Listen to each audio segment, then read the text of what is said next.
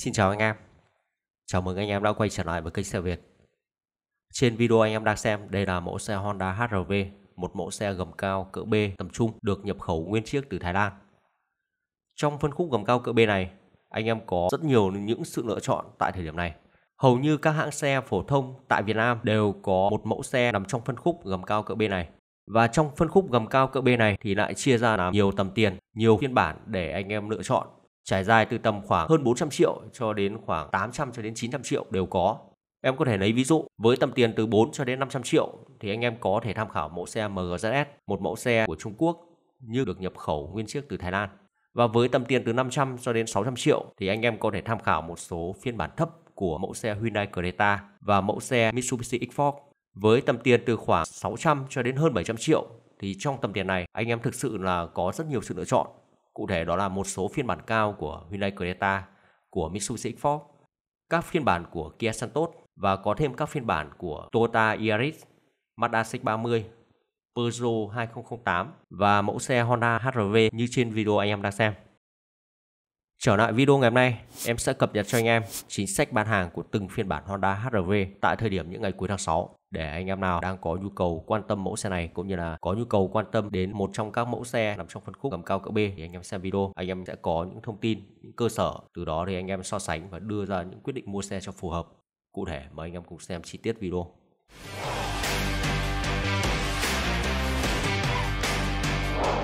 Mẫu xe Honda HR-V là mẫu xe được nhập khẩu nguyên chiếc, nhà máy phân phối với 3 phiên bản. Phiên bản cao nhất đó là HR-V bản RS, phiên bản thứ hai đó là HR-V bản L. Phiên bản thứ ba đó là HRV bản G. Tất cả đều là xe sản xuất 2024 nhưng tại thời điểm này chỉ có hai phiên bản đó là HRV bản G và RS là có xe cộ hỗ trợ cho anh em. Nhưng anh em phải ký chờ, không phải là có xe sẵn luôn. Hy hữu là tùy từng thời điểm thì sẽ có xe giao ngay.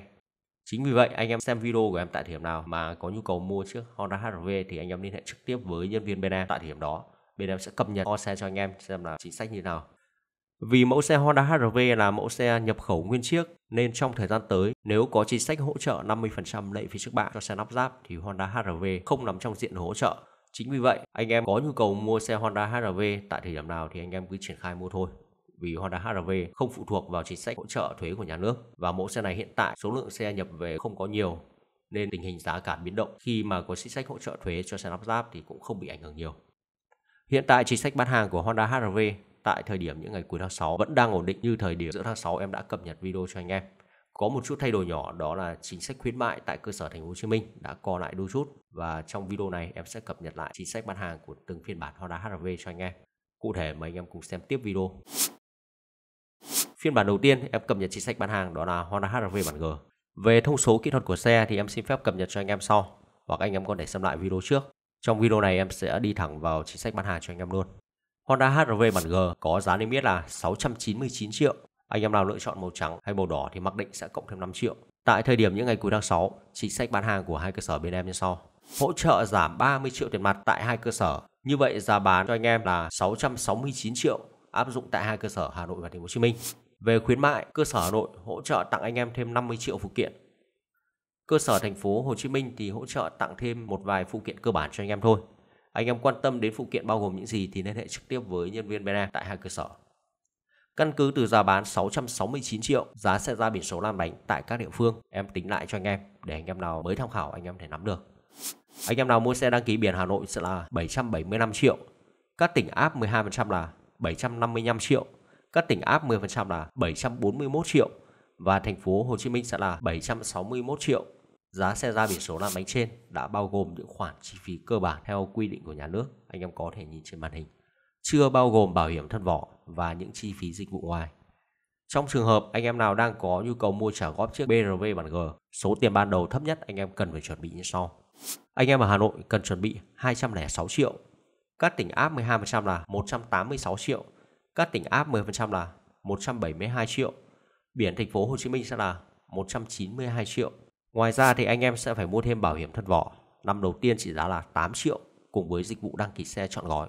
Và như vậy anh em sẽ vay ngân hàng mức vay tối đa 85% giá trị xe sẽ tương đương với số tiền là khoảng 568 triệu. Thời gian vay tối đa cho anh em là 8 năm, tối thiểu là 3 năm cùng với lãi suất ưu đãi khoảng 0,6% trên một tháng trong năm đầu. Năm thứ hai trở đi biên độ sẽ theo ngân hàng. Với gói vay 568 triệu trong thời gian vay tối đa là 8 năm thì gốc lãi tháng đầu tiên anh em sẽ phải thanh toán ít nhất là khoảng 9,2 triệu. Trong đó gốc chia đều là 5,9 triệu cùng với lãi suất tháng đầu tiên là 3,4 triệu. Dư nợ sẽ giảm dần trong những tháng tiếp theo. Phiên bản thứ hai em cập nhật chính sách bán hàng cho anh em đó là Honda HR-V bản RS.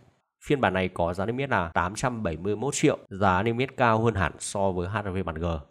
Và về thông số kỹ thuật thì Honda HR-V bản RS sử dụng động cơ turbo, còn bản G thì chỉ là động cơ 1.5 thường thôi. Anh em lưu ý, chính vì vậy giá xe HRV bản RS vượt trội cao hơn hẳn so với bản G hơn 100 triệu.